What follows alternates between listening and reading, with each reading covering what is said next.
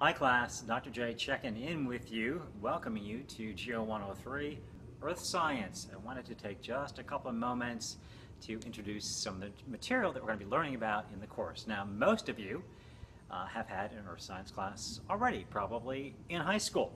And so you already know that Earth Science is a broad subject, right? And that there are four Earth Sciences that comprise the discipline of earth science, meteorology, geology, oceanography, and astronomy.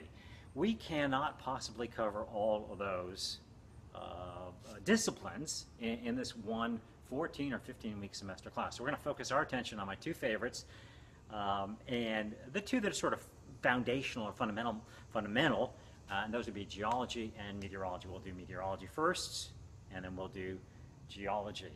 And I have to be honest right from the get-go here, um, I am a meteorologist. That's my area of expertise, my true passion.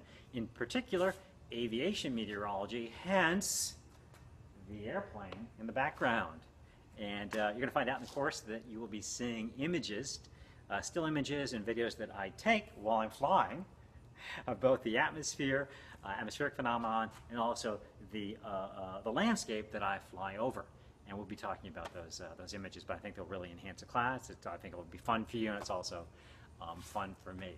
Uh, so that's just a little bit about the material that we'll be covering in much more detail later on. Looking forward to meeting all of you. Dr. J, signing off from the Greensboro Airport. Ciao.